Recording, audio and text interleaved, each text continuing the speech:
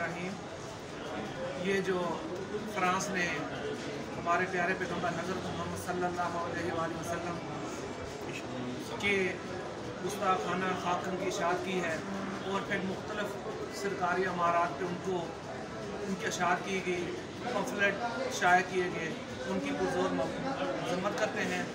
हज़रत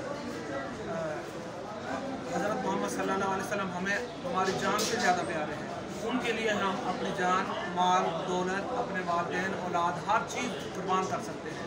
इस किस्म की अगर घटिया हरकत जारी रखी गई और इस किस्म के मामला बार बार किए गए तो पूरी उम्मत मुसलमान जो है, उठ खड़ी होगी और पूरी दुनिया में फसादात फूट पड़ेंगे। तो इसकी तमाम तर ज़िम्मेदारी फ्रांस और उससे मुनहका जो दूसरे ममालिक हैं, उन पर आयद होगी।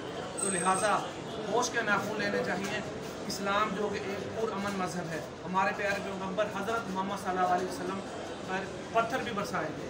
लेकिन इसके जवाब उन्होंने प्यार, मोहब्बत और सिले से दिया। हज़रत हज़रत मोहम्मद सल्लल्लाहु अलैहि वसल्लम के लिए पूरे मुसलमान मुतफ़ा तौर पे अपनी जान, अपनी दौलत, अपना माल, अहलो अयाल सब कुर्बान कर सकते हैं।